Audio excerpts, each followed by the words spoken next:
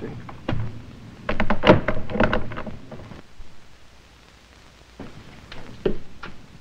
Hello?